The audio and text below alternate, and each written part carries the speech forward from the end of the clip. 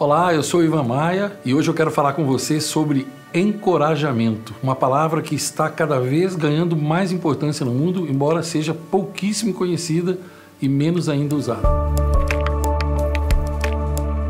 Você que já acompanha o meu trabalho e já me segue aqui no canal, caso você não esteja inscrito ainda, aproveita aí, clica em inscrever-se e logo do lado clica na sinetinha para você ficar sabendo sempre em primeira mão dos vídeos que eu publico aqui. A grade normal do meu canal aqui é segunda, quarta e sexta, religioso com a luz do sol, tem sempre um vídeo muito bom aí para você. Encorajamento eu quero dizer para você o seguinte: seja um encorajador. O mundo ele está composto basicamente pelo seguinte: 95% das pessoas são desencorajadoras. Portanto, se você se tornar um encorajador, você vai ganhar mais dinheiro, vai ter mais amigos, vai ter mais oportunidades, sua vida será muito mais abençoada, porque primeiro você escolhe e depois você colhe. Tudo que você planta volta para você numa quantidade de 100 para 1, numa proporção de 100 para 1. Então você precisa entender isso.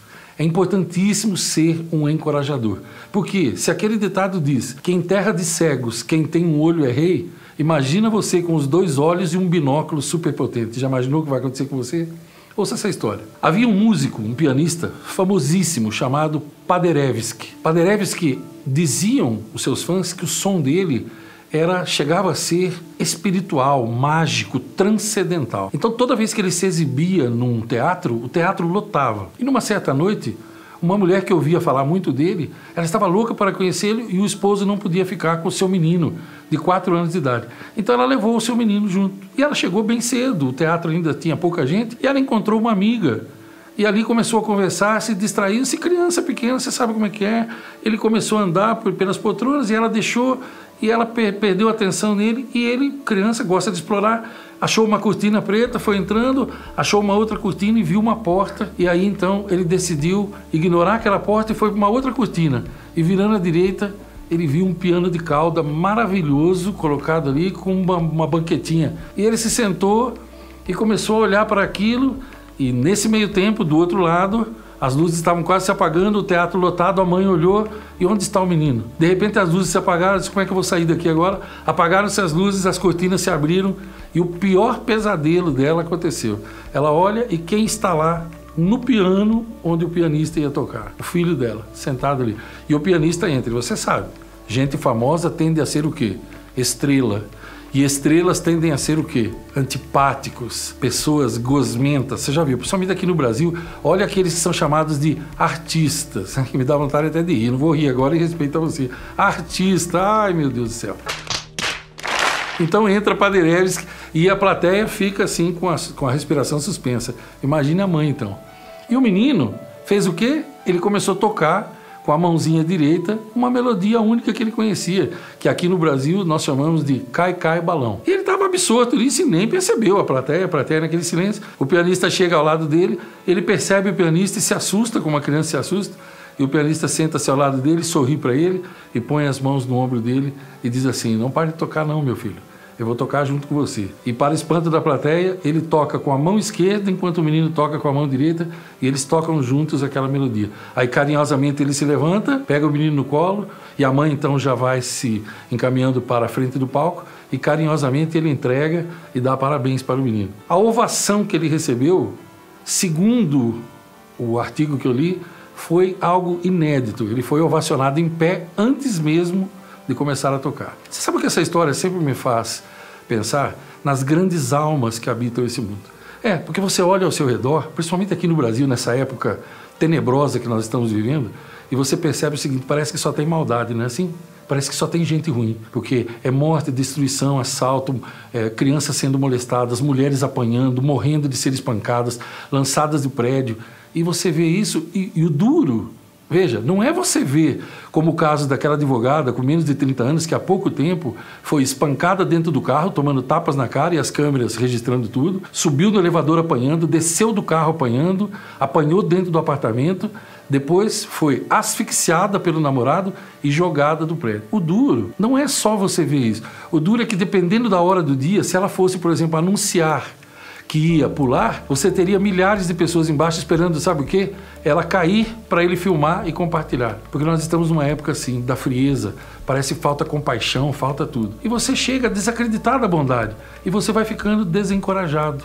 Você vai ficando desencorajado quando você vê o quadro político, você vai ficando desencorajado quando você vê o Senado, que eu até hoje tenho dúvidas se é um circo, um presídio ou um hospício. Eu estou na dúvida. Para mim são as três coisas simultaneamente. Você vai ficando desencorajado quando você não recebe um salário digno, quando você não tem segurança, quando o bandido está armado e você tem que andar desarmado quando uma raça, uma parte da raça da humanidade recebe bolsa isso, bolsa aquilo, bolsa é, bolsa família, ele recebe bolsa presídio, bolsa travesti, bolsa prostituta, bolsa loucura, bolsa psiquiatra e você não recebe nada. E você vê as pessoas morrendo de fome, como que você tende a ficar?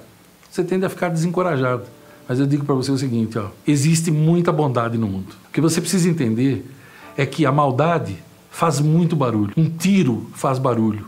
Um grito de ódio faz barulho, mas o bem, o amor, ele é silencioso. Você não ouve o barulho de um beijo, uma carícia, um eu te amo, as pessoas que fazem heróis anônimos que a TV nunca vai mostrar, nunca, porque isso não dá dinheiro, pessoas que salvam animais, pessoas que dão a vida para salvar outro, como aquela professora que há alguns meses deu a vida e morreu queimada, mas salvou várias crianças porque um psicopata botou fogo na escola, o zelador da escola. Você deve ter visto isso. Essas reportagens elas não aparecem muito. Agora, a reportagem de uma outra mulher militante que supostamente defendia minorias, mas que a gente sabe que era outra coisa, ah, isso é alardeado.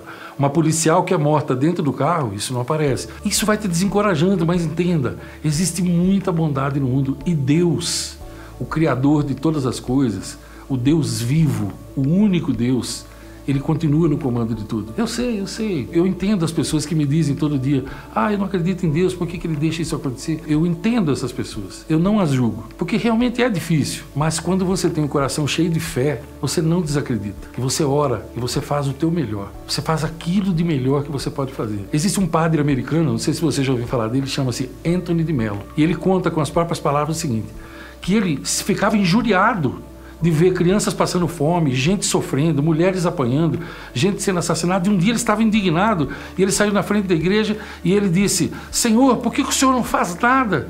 E ele disse que ouviu uma voz dentro dele que disse assim: Eu já fiz, eu fiz você. E desde esse dia ele começou uma obra, um trabalho fantástico, porque ele entendeu que nós temos que fazer o nosso papel. Seja um encorajador.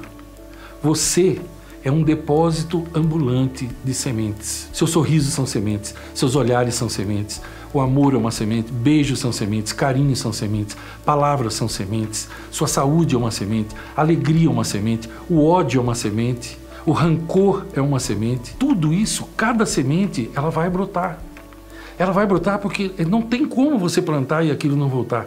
Encoraje as pessoas. Comece na sua casa. Comece encorajando suas crianças. Sorria para elas. O seu melhor sorriso. Dê para as suas crianças aquele sorriso que você dá para os seus clientes, para estranhos que às vezes te visitam. Aquele sorriso especial. Sorria para o seu cônjuge. Diga palavras boas já de manhã.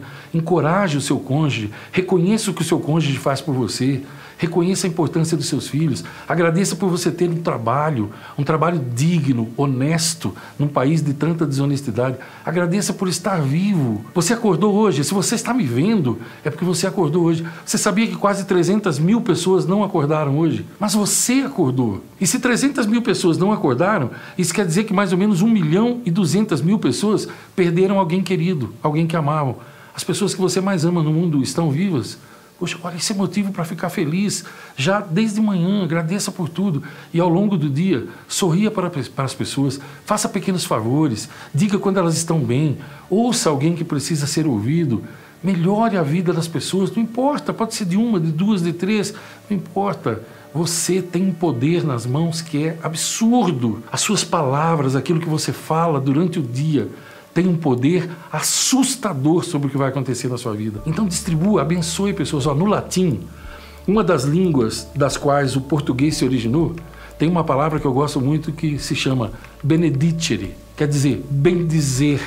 Você, você fala e você despeja aquilo sobre as pessoas. No meu curso, a fina arte de lidar com pessoas, eu ensino isso o tempo todo, o poder que isso tem. Eu não estou dizendo que as palavras têm poder, porque eu não acredito nisso. Deus tem poder. E ele me emprestou um pouco do poder dele. E eu libero esse poder quando eu uso as palavras. Entendeu? Não creio que as palavras tenham poder. Eu creio que eu tenho poder de mudar o mundo com as minhas palavras.